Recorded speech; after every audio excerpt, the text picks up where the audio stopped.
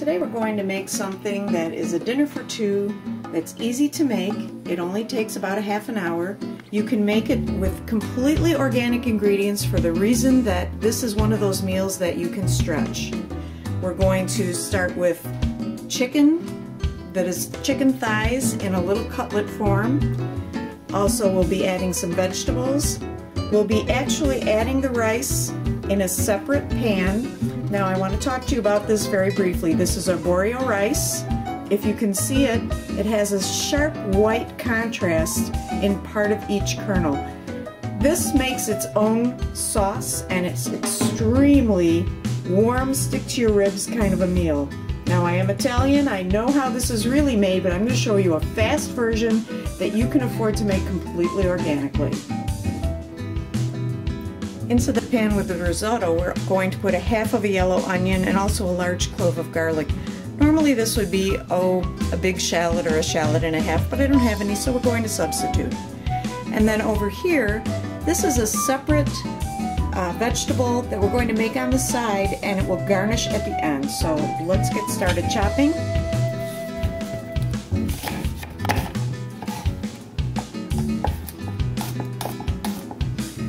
This is going with our pan of risotto. Now let's get at the veggies that we're going to cook on the side. Over here we have some red pepper and broccoli.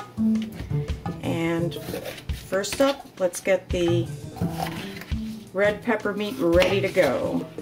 All right, let's get this broccoli ready to go. We're just going to cut it in from the inside our last little bit of prep is to take these slices of boneless, skinless chicken thighs, put them in a bag, and we're going to pound them out just a little bit so they cook more evenly and we don't have to worry that any of it will be on the rare side when we get to cooking it in a pan. So all we have to do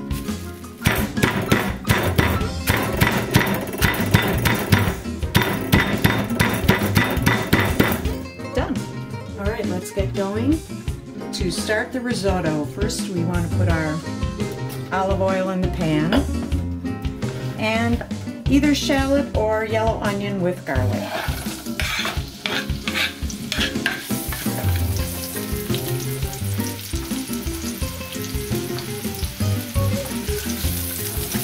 We're going to get this somewhat wilted, but don't use salt.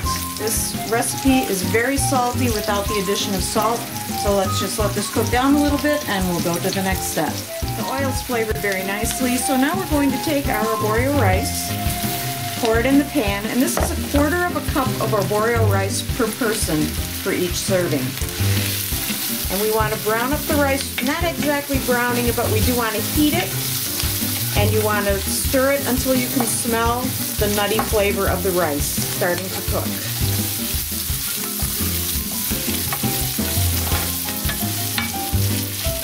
Now as the theme to the rest of the cooking of the risotto, the rest is evaporation.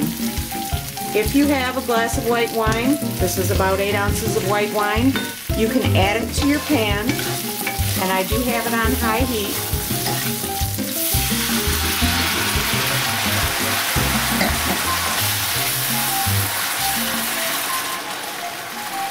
We're going to completely evaporate the white wine from this pan and then we're going to begin adding chicken broth. Now normally in risotto you would use hot chicken broth in another pan. I just pour it straight out of the box. It works just as well. It's room temperature. So let's get this completely reduced and then we'll add chicken broth. Okay, the white wine is almost completely evaporated. You want to continuously stir risotto because it will stick. And now we're going to start adding chicken broth. And just enough to cover the bottom of the pan. Stir in all the rice.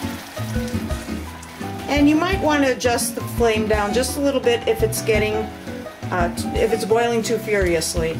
Otherwise, keep it cooking, keep it evaporating, and as soon as this runs down, we're going to add more chicken broth It'll be about one box of chicken broth or four cups to a half a cup of arborio rice.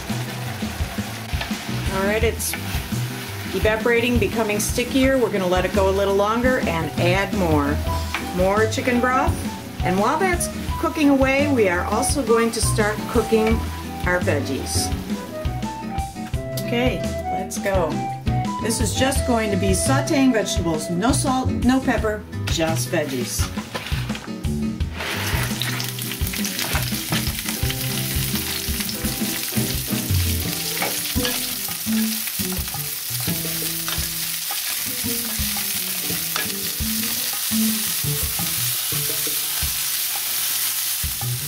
The final addition to risotto, and we're far from finished, is a little lump of butter and a good grating of Parmesan cheese.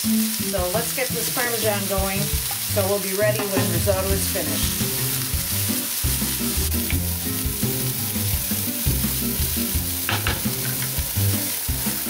All right, I'm getting some progress on the grated cheese here. We've got one last thing to do with the chicken before we get ready to cook that. So come on over to the other side with me and we'll take care of the chicken.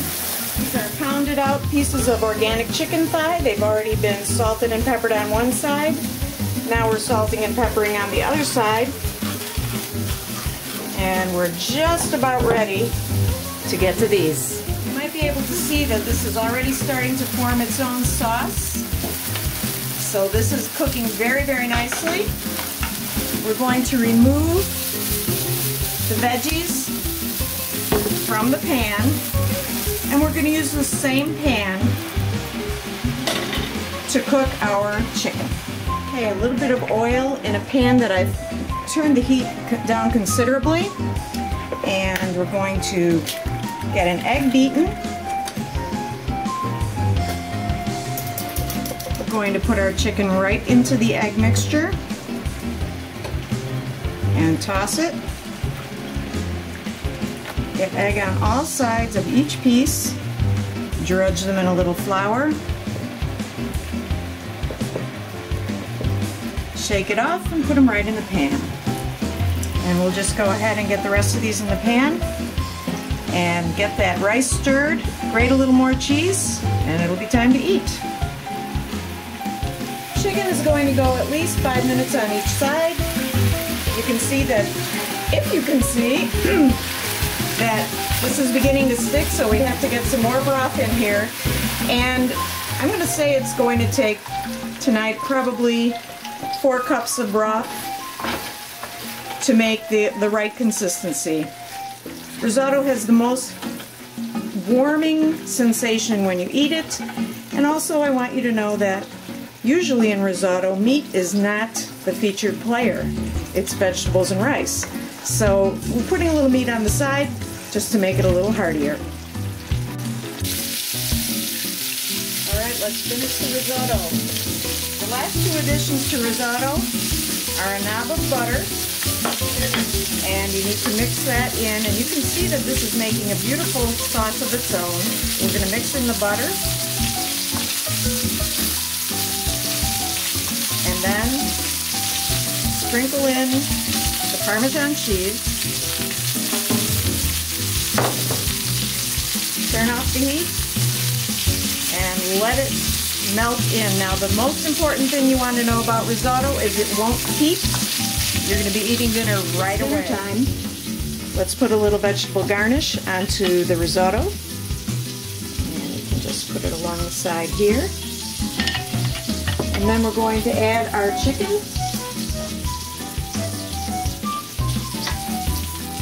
We'll just pile two little cutlets over here and it's time to eat. This is a very filling dinner. I think you'll enjoy it.